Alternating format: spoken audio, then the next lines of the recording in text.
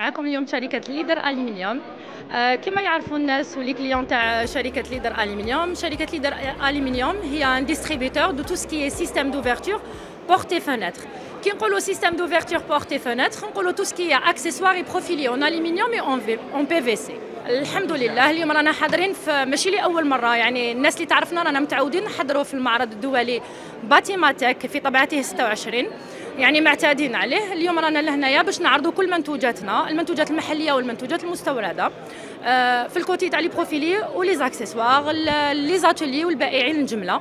وعلى بالهم بلي ثاني رانا متواجدين في ثلاثة وحدات التوزيع. عندنا في بومرداس حمادي كاين في وهران السينيا وفي العلمة سطيف.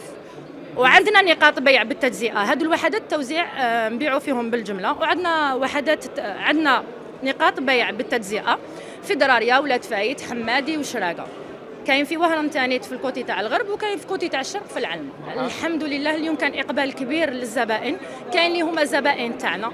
وكاين اللي ماشي زبائن تاعنا رسوفيناهم. ce sont des nouveaux des nouveaux prospects ولا des nouveaux clients الحمد لله. كان حضور بقوة ل tout ce qui promotion immobilière les travaux publics tout ce qui bureau d'études الحمد لله. إن شاء الله نوصلوا للهدف وكل واحد راهم exposé لهنا يوصل للهدف تاعه. خاصة في المنتوج المحلي. الناس راهي تجي وتحوس وتسقسي وتقول لك تحب تعرف les détails على المنتوج المحلي خاصة بالنسبة للأسعار. كما تعرفوا l'importation ما كانش نغلقوا غير نقدر نقول لك الناس ولات دوكا مهتم أكثر بالمنتوج المحلي من جهة السعر. الناس تجي عندك تقول لك أعطيني وري لي منتوج محلي يكون مليح ويكون السعر تاعو في متناول الجميع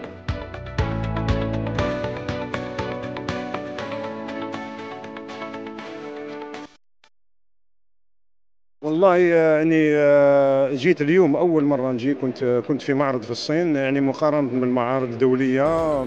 نحن في تطور الحمد لله. يعني نشهدوا لا الله يبارك ما شاء الله. يعني آه، بالنسبة للقطاع العام والقطاع الخاص هو لازم يكون قطاع واحد ما يكون لا قطاع عام لا قطاع خاص. يعني قطاع اقتصادي وطني موحد. لأجل التنمية والتطوير ويعني تلبية رغبات المواطن الجزائري والسوق الجزائرية. لما لا حتى التصدير للسوق الدولية و يعني المشاركة في صالونات دولية وعرض المنتوج الجزائري الذي أصبح الآن ينافس.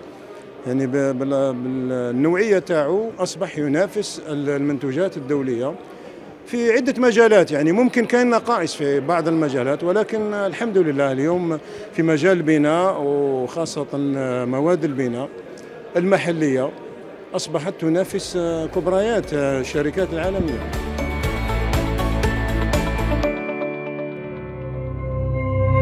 زيرتوب أول قناة إلكترونية في الجزائر.